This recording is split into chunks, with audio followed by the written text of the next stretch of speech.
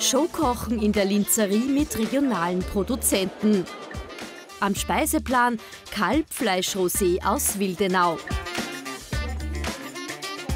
Wenn wir die Tiere kriegen, kriegen sie einfach mal ein frisches Wasser, eine Milch, ein Hai, ein Stroh, äh, Maissilage und das eigene Kraftfutter, also Gersten, Mais, was eigentlich bei uns daheim wächst. Profikoch Markus Fuchs verarbeitet das Fleisch zu einem Kalbsragout.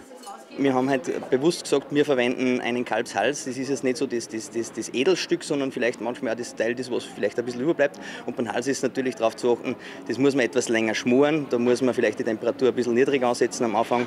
Ähm, aber es ist ein super Ergebnis, weil das Fleisch eben viel, ähm, was sage ich, den Kollagenanteil hat, weil es ein bisschen durchzogener ist. Und darum ist es nach dem Kochen noch super saftig. Es ist das erste Showkochen, eine Idee der Sparkasse Oberösterreich. Landwirte treffen auf Banker.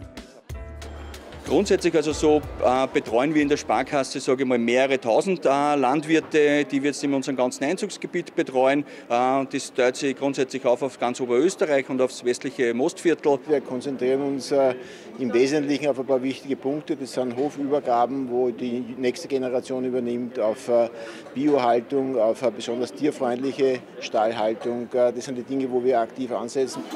Zurück zur Kulinarik. Neben Kalbsfleisch kommt auch Hahn auf den Teller von den Eiermachern aus Kremsmünster.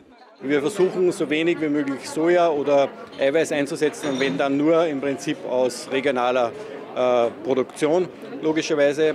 Und dadurch ist eigentlich der Hahn bestens versorgt mit regionalen Bioprodukten und Rohstoffen. Nicht nur im Burger schmeckt das Hahnenfleisch. Es harmoniert auch mit Rhabarber und Paprikasauce. Das ist ein Fleisch, das ein bisschen fester ist, das, das Brathändelfleisch, das wir grundsätzlich so kennen. Äh, aber wenn man das richtig bearbeitet, da schmeckt man wirklich einen sehr guten Händelgeschmack. Oft braucht es eben keine exotischen Zutaten. Regionales reicht aus für Profigerichte.